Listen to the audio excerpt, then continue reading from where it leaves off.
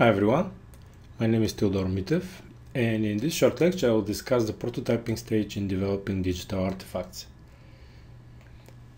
This is the fifth lecture in my series on digital artifacts, following the lectures on uh, thinking, observing, defining and ideating. As a reminder, in the lecture on thinking we discussed getting started with conceptualizing a project and following that in the observation stage we examined ways to finding, observing, and understanding your users. Uh, in the defining stage, we discussed the production of a definitive problem statement. And in the ideation stage, we talked about generating a wide spectrum of ideas to address the problem statement. Uh, needless to say, these stages are part of a continuous process. It's a continuous developmental process, which is iterative um, and builds around a feedback loop with your users. All right, so immediately following from the ideation stage, uh, we have uh, the stage of prototyping. And in this stage of your developmental process, you make tangible physical models of the problem solutions you generated in the ideation stage. So for the rest of this lecture, I will focus on discussing uh, the process of prototyping and uh, uh, giving you some pointers on how you should approach this. All right, but before we go there, uh, I need to take a step back and remind you how we ended up with the previous lecture, the process of ideating. As a reminder, uh, you need to be able to generate a problem statement in your defining stage, which should look something like users, uh, some sort of starter pack, some sort of frame which you have observed, need some sort of verb that you have identified as, as a need and in reminder that uh, this statement should not be in the singular. You should produce uh, at least three or four different versions of this trying to capture different uh, uh needs trying to capture different insights because insight actionable compelling something that you can that you have identified and you can do uh, for your user something that you have observed in an audience um, reminder also that uh, when we talk about your users and your audience, naturally, if you're starting a, pro a project from scratch, you will not have a set number of users audience. Your, your actual users will be zero.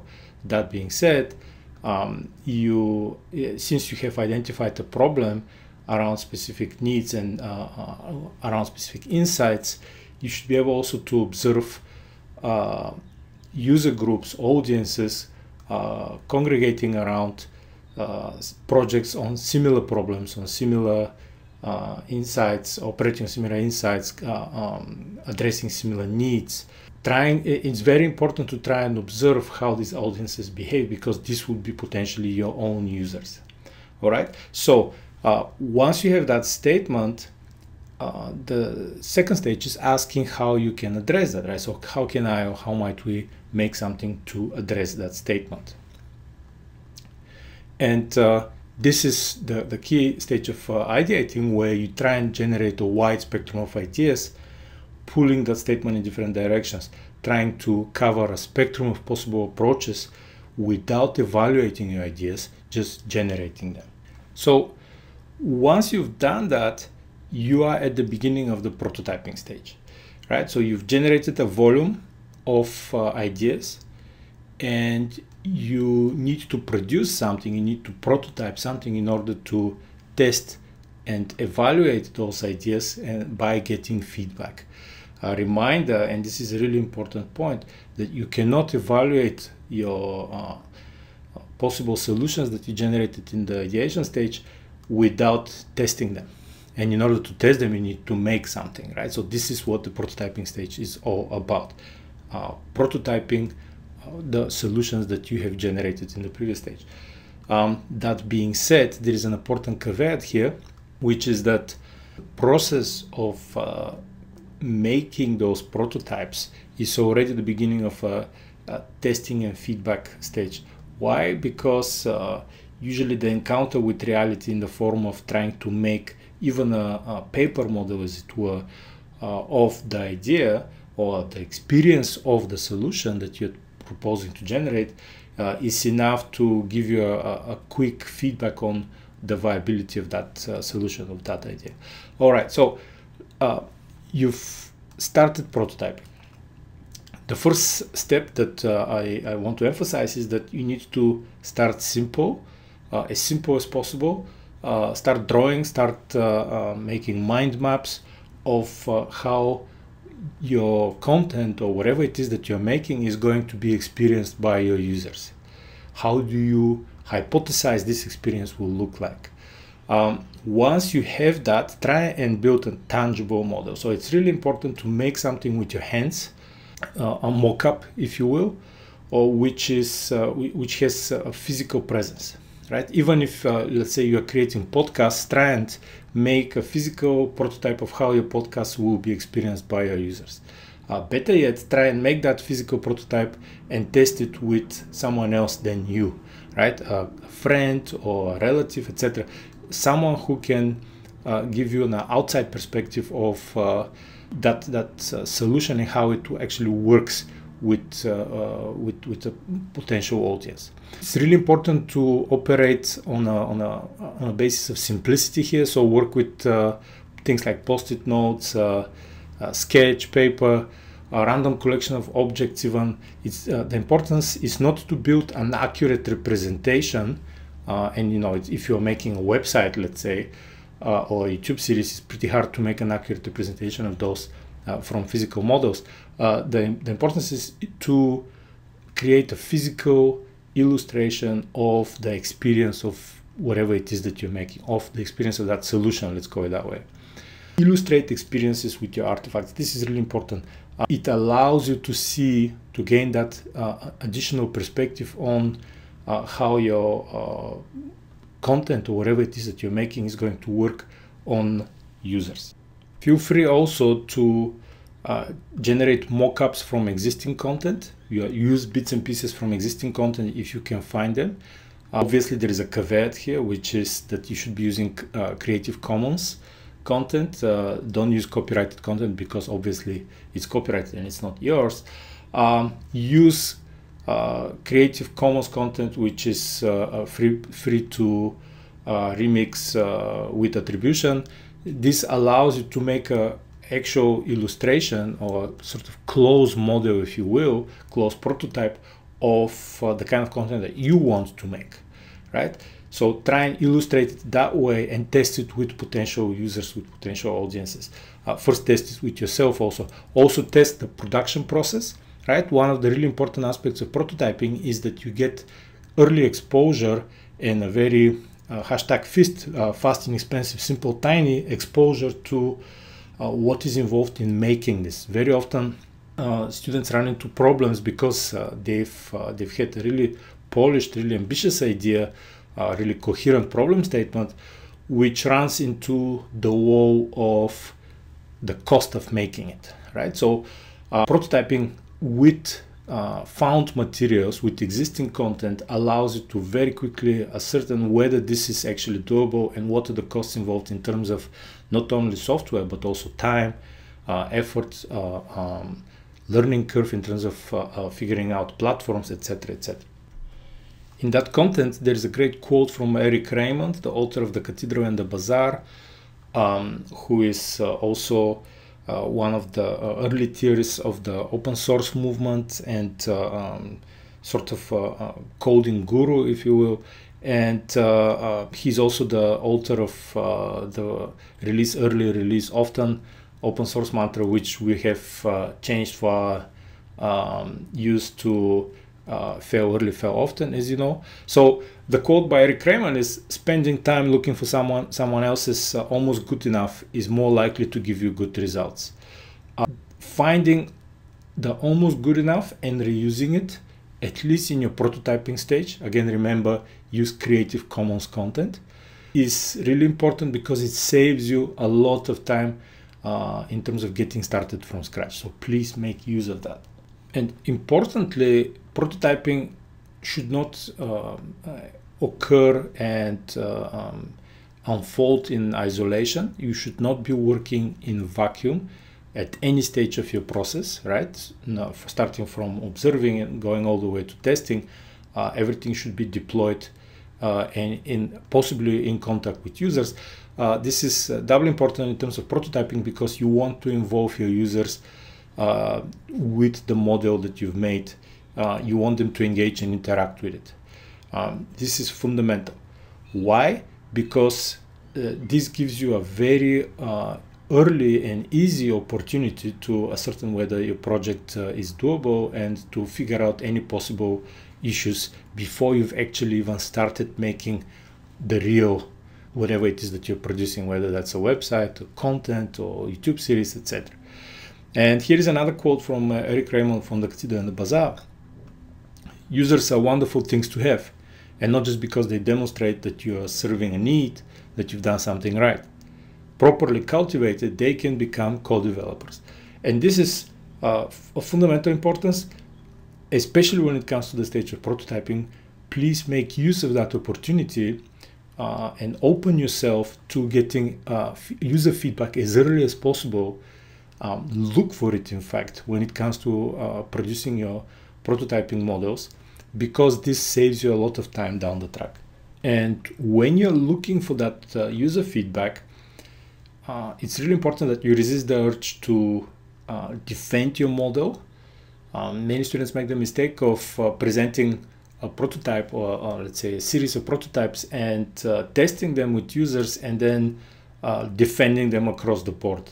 Uh, you know, in a, in a sense of you know how dare you criticize my work or you know you are wrong. This is actually this is working that way. Why aren't you getting it, etc., etc. So if your users communicate that something is unclear, it means that it's unclear, right? So uh, take notes of uh, how your prototypes are being received, what works, what doesn't work, what could be improved, what needs to be changed. Uh, specifically, look for reactions to your uh, to your content, and uh, try and return back to the drawing board in terms of new ideas. This is the value of prototyping. And involving users uh, in the uh, earliest uh, stages of prototyping is uh, also important because you can use users to diagnose issues, diagnose problems, as Eric Raymond again indicates here, suggest fixes, improve the code or the content or whatever it is that you're making far more quickly than you could unaided. Um, why? Because you have a number of users providing feedback on the same uh, object on the same artifact. And this in turn brings me to my next point, uh, which is uh, of fundamental importance when it comes to understanding this stage. Uh, and it is obviously that prototyping is iterative. So what does this actually mean? This is a, a really important concept that uh, all of you should understand. Uh, first and foremost, it stands that this is a cycle in its own right, that once you produce a prototype, once you model something, uh, and you uh, let it encounter an audience, encounter users, you should be able, you should be ready to go back to uh, the drawing board and uh, remake that prototype, right? So if you adopt this mindset, you will save a tremendous amount of time down the track in terms of uh, um, figuring out what is it that you're doing wrong, in terms of figuring out possible bugs, possible issues, in terms of figuring out how to reach your audience better. So part of the concept of FIST, right, uh, uh, fast, inexpensive, simple, tiny, is uh, encapsulated here in that you want to be going through prototyping as often as possible, as early as possible, uh, in order to save yourself uh, uh, both time and effort and resources down the track when the making of the actual project or the actual content or series or whatever starts where you're already on uh, on a sort of a, a, plane of certainty, as it were, in terms of what you're making. Uh, you don't want to be discovering issues at that stage. You want to be discovering them now. And there is uh, again another fantastic uh, point from Eric Raymond here, uh, where he points out that you often don't really understand the problem until after the first time you implement the solution. The second time, maybe you know enough to do it right. So if you want to get it right, be ready to start over at least once. So he's pointing exactly at this uh, element of prototyping. You want to be approaching it iteratively uh, with the mindset that you will figure out uh, issues along the track and you need to start over again. And uh, in our terms, this is best encapsulated by, by uh, this concept that you should be treating prototyping as a uh, first opportunity to hashtag FEFO. So as a fast, inexpensive, simple, tiny opportunity to fail early and fail often. Really important to approach the prototyping stage with this mindset as opposed to doing things as one-off in isolation, failing possibly, and uh, um, uh, giving up, or alternatively um, approaching things in one-off as a one-off in isolation, um, not failing because you haven't encountered any resistance and continuing into the void without encountering resistance, without actually having any feedback right? This is a dead end as well, even though it gives you the illusion of progression, the illusion of linear development, you're operating in a vacuum. It's a dead end, right? So uh, treat prototyping as an opportunity to test as quickly as possible, gain feedback as quickly as possible, um, and fail early and fail often, right? This is encapsulated also in uh, the by now very familiar concept to all of you from Eric Raymond, release early, release often, listen to your customers. Or in other terms, again from him, given enough eyeballs, all bugs are shallow, which is again one of the classic mantras of the open source uh, movement. You want to have uh, enough people, enough uh, uh users with some sort of engagement looking at the process, looking at the content, looking at the project that you're working on, uh, and figuring out issues in collaboration with you. A reminder also that uh, you can prototype and you can advance tremendously in the prototyping stage by using design fiction. We talked about this in the previous lecture on ideation. Uh, this uh, spills over, as it were, this this uh, concept of design fiction and uh, the the process that you can uh, undergo by using it spills over in terms of uh, prototyping. Why? Because it allows you to simulate interactions and experiences even though this whatever it is that you're going to be making in terms of design fiction is not exactly uh, a model of what you will be making in, in real terms if you're trying to capture specific uh, interactions specific experiences that simulation is really helpful for that so uh, design fiction also saves you tremendous amount of time so uh, this speculative approach to making and that's as speculative as it gets obviously uh, is really helpful because again it allows you to hashtag fist and hashtag FEFO. Um, remember, the, uh, the key concept here comes from Julian Bleecker, um, and uh, the, he explains it very nicely in terms of making the unreal seem real, even routine and plain. So you want to start with something highly speculative and inserting it in a very plain, very pedestrian, uh, everyday environment, and uh, trying to observe possible interactions, possible experiences. Why? Because uh, these are specifications for imagining, right? Tangible, materialized prototypes that live in between fact and fiction and are both speculative and possible. Yes, specifications for imagining. Importantly, and that's also a point that students uh, often overlook when it comes to the uh, potential of design fiction, this approach allows you to unlock uh, new ideas in terms of how you could make things, how you could position things, the kind of users you should be uh, approaching, etc., etc. They, the, design fiction separates you, as it were, from the linear thinking that we are also conditioned with. It uh, it uh, kind of pushes you to think along different tracks. So it's really important to experiment with that. Treat it as a way to experiment um, in terms of your prototyping and in terms of uh, uh, possible uh, future trajectories for your project. All right, so let's summarize where we are in terms of prototyping. And the three rules of thumb that uh, I think are really important for all of you to take on board are first, build early, build often. So that's a, again a variation on a motto of fail early, often. It's important to build as early as possible and as often as possible. Build prototypes, right? Hashtag Bibo uh, feel free to use that. Um, when you build, build for engagement. Do not make content, do not build prototypes uh, without a specific uh, purpose, without a specific uh, reason, without specific uh, vector for testing. Aim to generate interactions, aim to generate specific reactions from your users which you're looking for. This is what prototypes are for, right? And the more you prototype, the earlier you prototype, right? Again, hashtag Bibo, uh, the better understanding you would have of your users and the better understanding you will have of the trajectory of your project. Gather feedback and do not get attached, do not get uh, in any way linked uh, permanently with your current model, right? So release uh, your prototype, let it uh, gather feedback and drop it, start working on a new one. You're looking for early feedback and you're looking for um, an understanding of the way your audience engages with the object that you've made.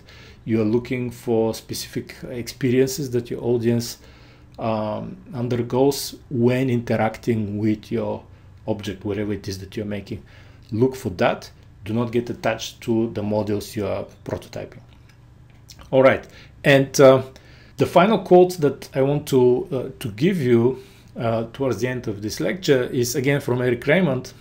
It sort of encapsulates the entire process of uh, rapid prototyping. Um, and the quote is, often the most striking and innovative solutions come from realizing that your concept of the problem was wrong.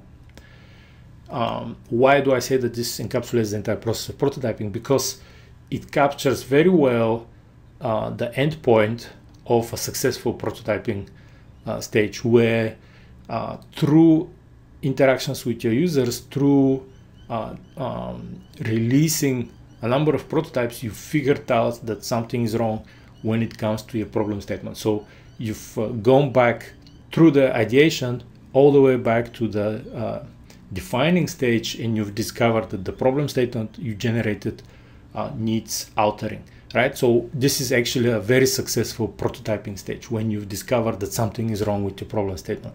Why successful? Because you've saved yourself tremendous amount of time, effort, and resources in figuring out very early that uh, you need to iterate through your problem statement. That's it from me. Thank you all from, for listening. Um, as usual, if you have any questions, hit me up on Twitter at TedMitew and uh, see you online.